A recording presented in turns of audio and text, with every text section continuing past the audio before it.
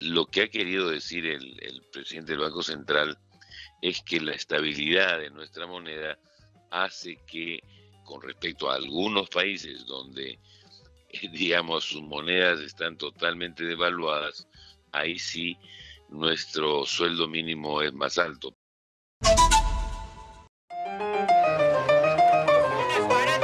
Planifica, invierte, ahorra, cuida tu bolsillo. Es momento de escuchar a Guido Penano en Economía Popular. Hola Guido, ¿qué tal? Buenos días. Buenos días, buen sábado, un abrazo. Un abrazo Guido, buen fin de semana. Frente al sueldo promedio de otros países, el sueldo mínimo del Perú es alto. Los salarios no pueden subir por decretos. Si no ser rico sería lo más fácil. ¿Quién dijo esto? Julio Velarde, presidente del Banco Central de Reserva del Perú. ¿Cuál es su opinión sobre lo dicho, Guido?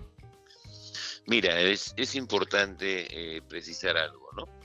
Cuando tú tienes una moneda como la nuestra, el sol, que se ha venido revaluando con respecto al dólar, ¿no? Porque además ya hemos informado más de una vez aquí que es el sol una de las monedas más apreciadas que hay en este momento en América Latina.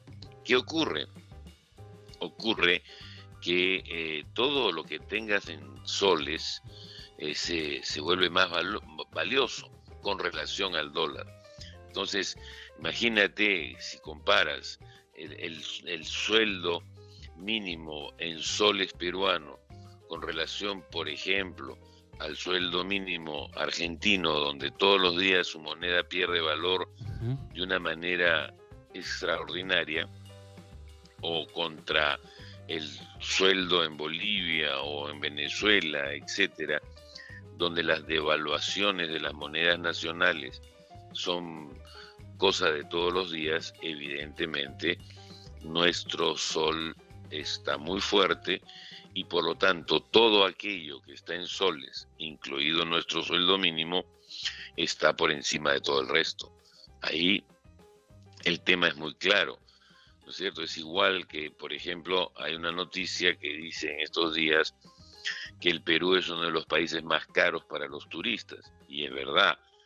Todo lo contrario, ¿no? La gente se va a Argentina vende sus dólares en el mercado negro, recibe tal cantidad de, de dólares de moneda nacional que el país es baratísimo. Acá pasa todo lo contrario.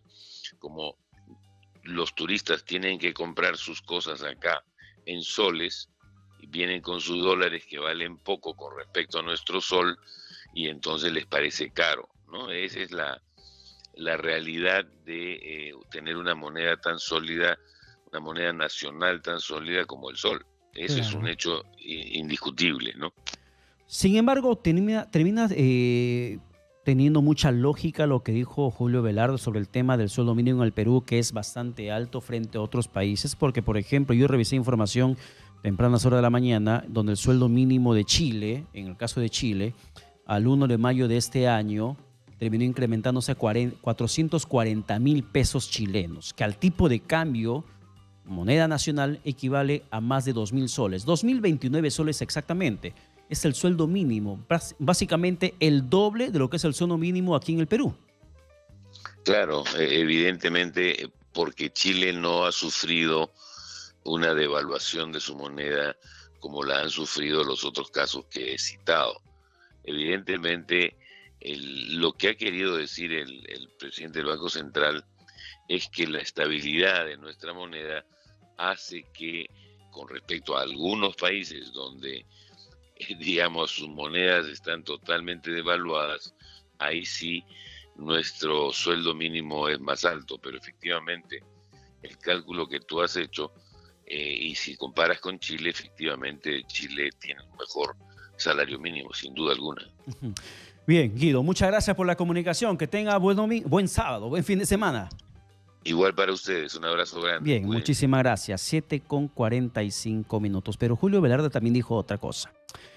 El presidente del Banco Central de Reserva advirtió que la región latinoamericana está volviéndose casi irrelevante en el escenario económico global. Bueno, con tanta moneda devaluada, con tanto gobierno ideológico que destroza la economía de esos países, no deja de tener razón.